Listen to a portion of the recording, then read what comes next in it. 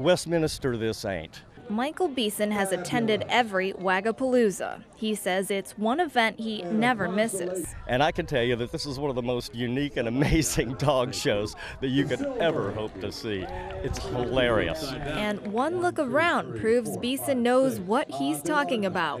From bumblebee dogs to Princess Leia and her Yoda, judges had their work cut out for them in the costume contest. The dog's name is Oda May, but tonight he, she has been renamed. Other favorites included the best puppy love and the best old timer, where age in dog years is just a number. We're, yeah, we're looking at 80, 90 year old critters here, aren't we? But all the goofiness is for a good cause. The proceeds go to the Animal Care Center of St. John. The ACC is a growing no kill animal center on St. John. It's a nonprofit, and they count on fundraisers like these to keep their doors open. And as president of the organization, Sheila says This event is the best dog show in the Virgin Islands. It is so much fun, always.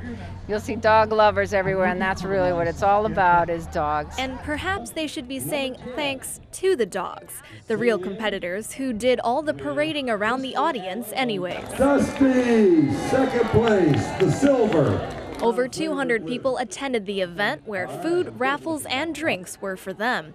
But for man's best friend, it was a few sniffs here and a tail wag there. According to the Animal Care Center, they were able to raise a lot more money than they did at last year's event. Now, that money goes towards things like food for the animals at the shelter, their care, and also for their spay neuter program there as well. Sandy?